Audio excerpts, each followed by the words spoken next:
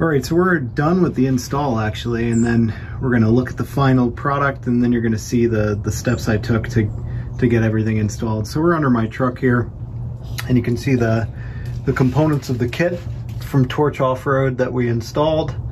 We've got a new leaf, there's the Add-A-Leaf there, uh, brand new Torch Off-Road extended U-bolts to accommodate the extra height comes with all the hardware. And then also we've got an axle shim plate there that sits between the uh, the axle and our and our leaf pack, and it uh, changes the angle given the extra height that we added. So the pinion angle, uh, it's a two and a half degree shim. So everything that you need do the install is included in the kit. Very nice kit, um, was, was packaged well, arrived quickly and safely, and the end result is awesome.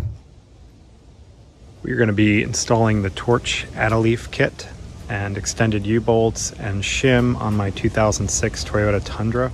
And my truck's got 192,000 miles on it, so the original leaf springs were a little bit low. So we're sitting right about 37 in the back, 37 and 3 eighths, 37 and a half in the front. I have a Tough Country rear bumper that I installed, which added a bit more weight over stock. So this guy is gonna sit down a little bit more. All right, we are ready to get started on this. I got the truck backed up in the garage. What we're gonna first start by doing is jacking up the rear end and we're gonna put the my jack stands on underneath the frame I've got the jack here that we're gonna go underneath the uh, rear diff. And then once we get that jacked up, we'll take the rear wheels off and then drop the whole thing down onto the jack stands. All right, so we've gone through the first couple of steps of the process here. We've uh, put wheel chocks in front of the front tires um, so the vehicle won't move. We've uh, we've lifted the vehicle and we've put in our, our jack stands here. we've supported the uh, the rear differential with our with our floor jack here. Now we're gonna have to remove the the shocks on both sides, just the bottom mounts. So we got the U-bolt off. Gonna keep it in the orientation that it goes on there. All right, I got that bolt out. Just needed my breaker bar, uh, and I was able to to pop that out. We are gonna use that again. So I'm gonna put it off to the side. Now we can pull this shock out and we can um, start to disassemble this, this leaf pack. Basically I've got the, the Add-A-Leaf here and my original springs. Here's my overload. And I've got the this uh, bolt that I'm working through and I'm just tightening down the C-clamps here, closing the gap here and then tightening the bolt down and we'll torque it to 30 foot-pounds once, uh, once the gap is closed. All right, so we got this all compressed back together. This is the new Torch Add-A-Leaf here, and this is the shim, which is goes um, between the leaf pack and the, the axle. There's a pin in it. I'll grab the other one. So there's a pin here and it goes underneath the overload spring.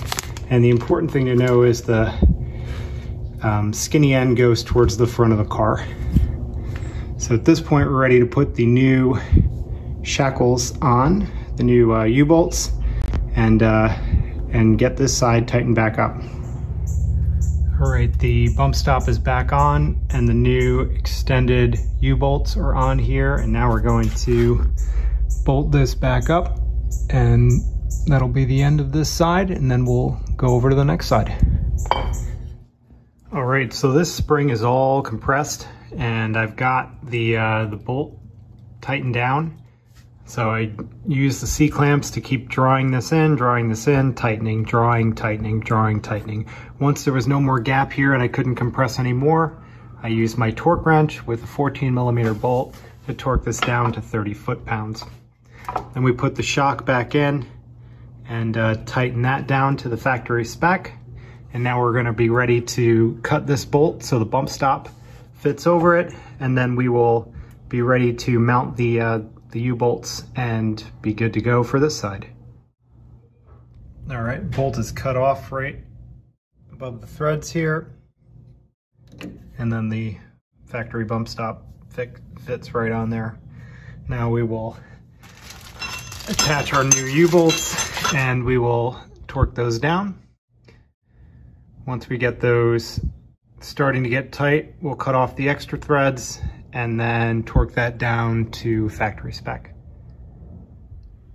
All right, we got the U-bolts kind of tightened up and then one thing I've had to do is come down here and um, after I get the bolts snugged up, I cut these guys uh, to length, cut about an inch of the bolt off so that I can get my impact wrench up there and torque drive or uh, torque wrench up there and uh, tighten these to spec. So these are now cut to the right length and we're gonna go ahead and torque these. All right, so we are all torqued down, new leaf in there, everything's torqued back to specs. Uh, now it's time to lift the back end up again and we're gonna mount the wheels, torque them, and then we'll let everything down and take a final measurement. All right, we just dropped the truck down and ready for a measurement. We are 39 and a quarter, and just about 39 and, and a half, 39 and 3 eighths. So mission accomplished. Awesome little kit.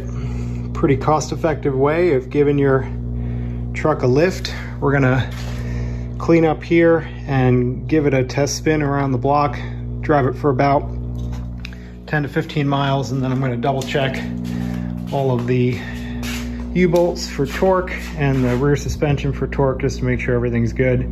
And uh, we'll come back after after 15 miles. Couldn't be happier with the result.